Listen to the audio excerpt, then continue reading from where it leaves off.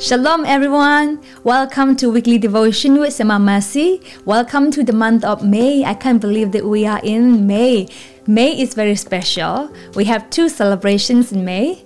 One is celebrating Mother's Day, and second is celebrating the Pentecost Sunday. We all know that celebrating Mother's Day is we are honoring our mothers, and also we are giving thanks to the Lord for our mothers.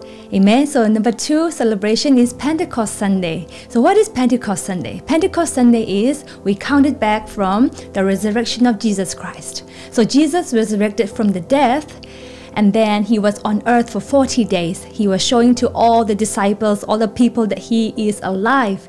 After 40 days, Jesus returned to heaven alive. Then Jesus, before he went back to heaven, he told the disciples to wait on the Holy Spirit. He will come to all the disciples. So after 40 days, Jesus went back to heaven. All the disciples waited on the Holy Spirit. So after 10 days, the Holy Spirit came upon all the people who were waiting in the upper room. So that is called Pentecost Sunday. So it is very special in our Christian walk with God. Amen. So this month we are going to talk about the Holy Spirit. It is so important. I want to introduce you about the Holy Spirit. Amen. So this week I want to say a huge happy wonderful Mother's Day to all the wonderful mothers in the whole world. Thank you so much for all the moms. And I want to acknowledge all those people who lost uh, mothers.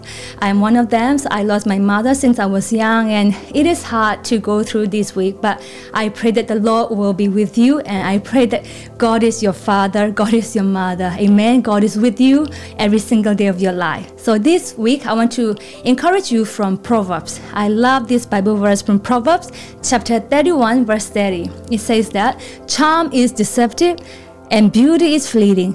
But a woman who fears the Lord is to be praised. Amen. Amen. I love that. We all love to hear praises from people. And you know that people tend to praise based on your outer appearances.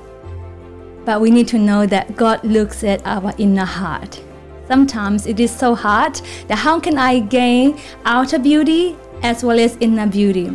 The Bible clearly says that if you fear God, if you are honoring God with your life, then you are beauty in your heart. Amen. That's why we should look after our outer appearances and also we should really look after and cultivate our inner beauty as well the best thing you can have inner beauty is by trusting God, obeying God, and fear the Lord. Amen. I hope this encourages your walk with the Lord. Fear God, obey Him, and you will have the beauty that you are longing for. Amen. God bless you all. I'll see you next week.